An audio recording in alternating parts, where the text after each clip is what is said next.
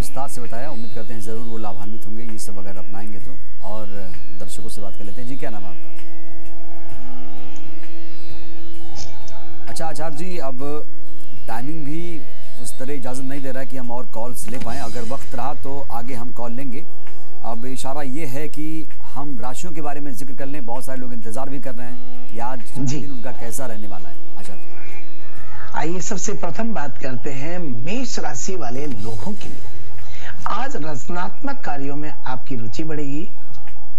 नौकरी में थोड़ी समस्या आ सकती है, पर शीघ्र ही निदान हो जाएगा। पढ़ाई में मन कम लगेगा खान पान की अधिकता सेहत पर असर डाल सकती है।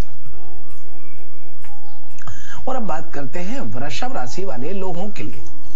आज आप खुद को एनर्जेटिक महसूस करेंगे। इस ऊर्जा के साथ जिस काम को करेंगे, वो समय पर पूरा हो जाएगा।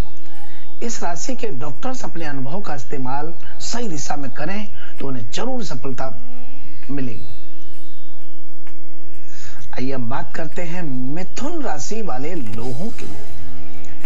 आज आपकी इच्छा शक्ति की कमी आपको भावनात्मक और मानसिक परेशानियों में फंसा सकती है। आज निवेश के जो नए अवसर आपको और आए, उन पर विचार करें, लेकिन धन तभी लगाएँ जब आप उन योजनाओं का भली भांति अध्ययन कर और अब बात करते हैं कर्क राशि वाले लोगों के। आज आपके व्यापार धंधे में खूब सफलता मिलेगी।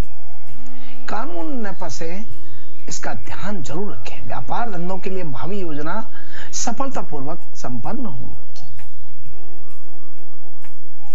आगे बढ़ते हैं और बात करते हैं सिंह राशि वाले लोगों के लिए।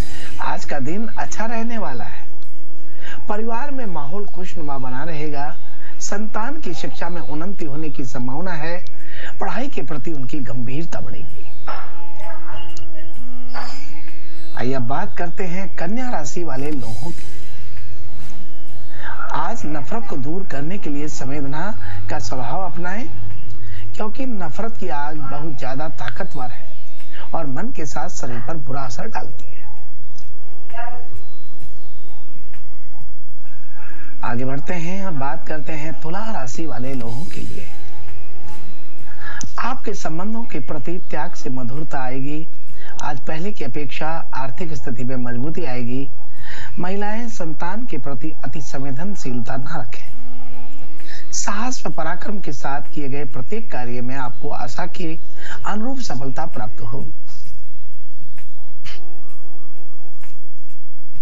और अब बात करते हैं वृश्चिक राशि वाले लोगों के। लिए आज का दिन सामान्य रहेगा, नया वाहन लेने की स्थिति बन रही है।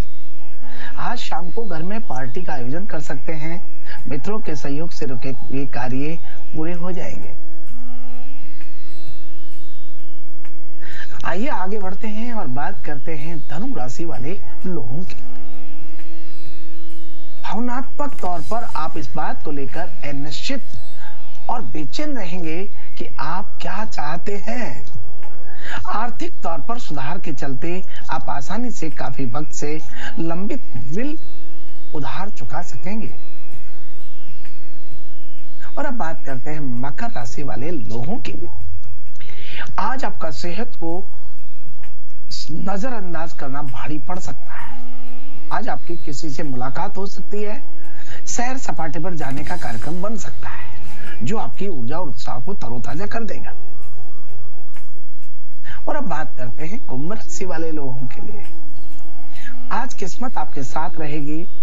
आज आप खुद से काम करने पर विचार करेंगे तो फ़ायदा होगा। ऑफ़िस में दिन अच्छा बीतेगा, नए दोस्त बनेंगे। इस राशि के वकीलों के लिए आज का दिन बेहतरीन रहेगा। आइए अब बात करते हैं मीन राशि वाले लोगों के लिए। आसपास के लोगों का सहयोग आपको सुखद अनुभूति देगा नया करार फ़ायदेमंद देख सकते हैं लेकिन वो उम्मीद के मुताबिक लाभ नहीं पहुंचाएँगे। निवेश करते समय जल्दीबाजी में निर्णय लेने से बचें।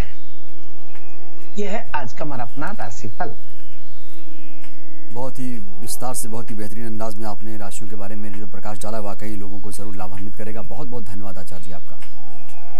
जी नमस्कार। में आज के लिए बस इतना ही। दीजिए अनुमति। नमस्कार।